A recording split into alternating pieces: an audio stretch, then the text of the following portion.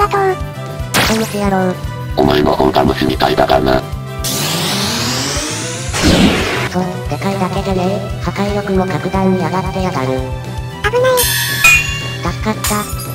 想像以上にヤバいな。戦闘力3800万。私たち3人でどうにかなる相手じゃないよ。そんなことはか。だけど倒さないといけない。せっかく3人もいるんだから。3人で計画的に狙おうよ。あいにく敵の的は大きい。そうね、1人ずつ攻めても相手はびくともしないわ。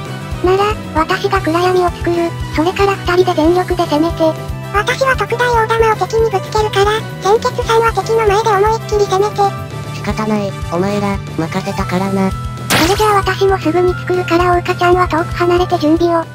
証拠にもなくまた来たのか。てめえを一度でも傷つけておかねえと気が済まねえんだよ。貴様、自分の血で。俺の能力、忘れてないよな。ジェフ、私鉄全言。鬼か。また暗闇か、二度も同じでは食わん。どこから来るかわからないのなら、全体に攻撃すればいいだけだろうが。考えたわね。でも判定は引き分けね。あなたが私に一発食らわせる間に、私は、30発は食らわせたわ。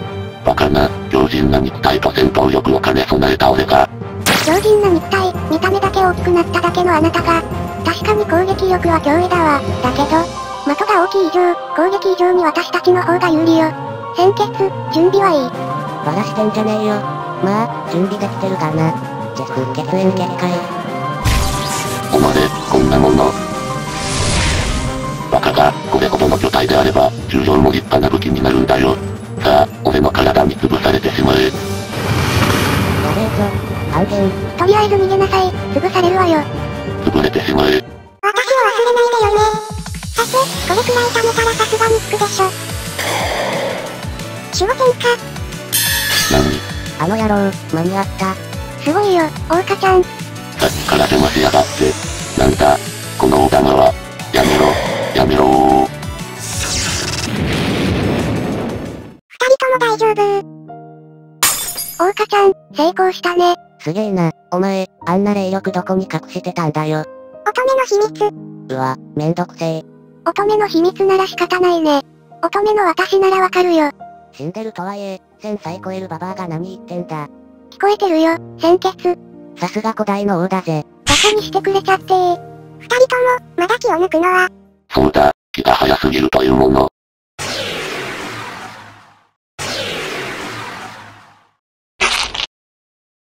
おい、大丈夫か？大丈夫。この虫野郎がまさか、お前らごときにここまで追い込まれるとは。もうこんな器では話にならんな。やっぱりか。何か分かったのか、安全。ずっと疑問だった。なんでこいつに攻撃しても黒いもやが出るだけで、血が出ないのか。確かにそうだ、こいつは傷をつけてももやが出るばかり。答えは簡単だった。本物の体じゃなかったから。ヒル、なるほど。吸収するのはエネルギーだけではなく、その肉体もってことか。正解だ、もうこの肉体は使い物にならない。久々だな、俺が本来の姿を表すのは。やはり外から得たエネルギーを使うにしても、この個体では肥大化するだけでうまく扱えない。喜べ、これが俺の。真の姿だ。女。だこれが、ヒルの本体。さっきより戦闘力か。さっきまでのヒルは戦闘力分肥大化していただけだったけどこの子は違う。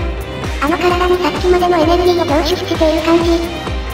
さて、この体で戦うのは久しぶりだから、ちょっとウォーミングアップに付き合ってもらうぞ。と。化け物だ。うん、こんなものかな。はや。鮮血？うん、ちゃんと力の流れがしっかり伝わってる。さっきまでとは全然違う。さて、俺が、もう違うか。私の以前の器も壊れたし、次の器を探さないとね。そこのピンクの子、私の器になりなさい。嫌だよ。うん、私もいらない。じゃあ、オオカちゃん。暴食、捕食者の嘆き。だは。こんなものか、つまらないな。まだオーラとか霊波動とかも使ってないのに。さて、反落者なら始末しても問題ないよね。計算外だった。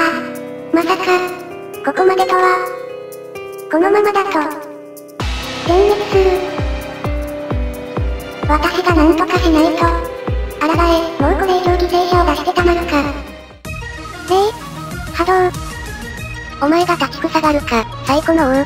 だがお前が霊波動を使っても100万いくかいかないかくらいだろう。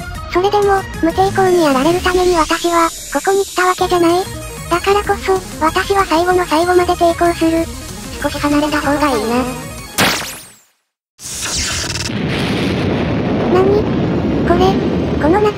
感じ。この釜、式、解放。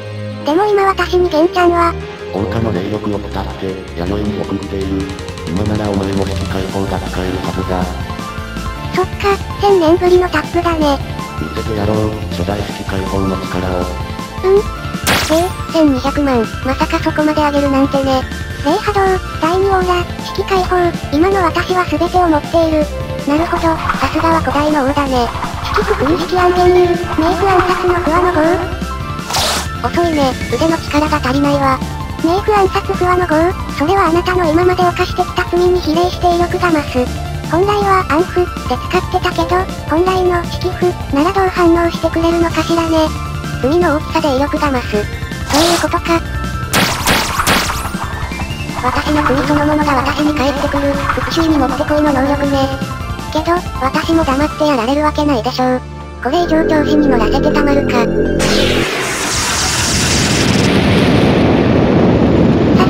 回線を始めよう。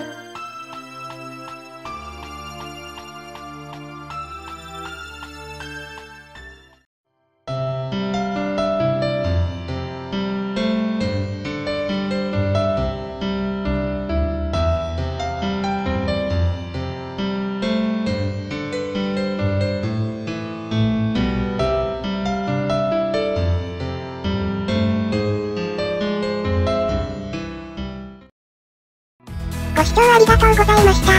楽しんでいただけたでしょうかぜひ気に入ってくださった方はチャンネル登録お願いします。他にも再生リストで過去の動画をまとめているので、気になった方はぜひ見ていってくださいね。それじゃあ寂しいけど今回の動画はこれで終わります。次回も私たちの動画を見てくれるとすごく嬉しいです。それでは次回も、楽しんでいってね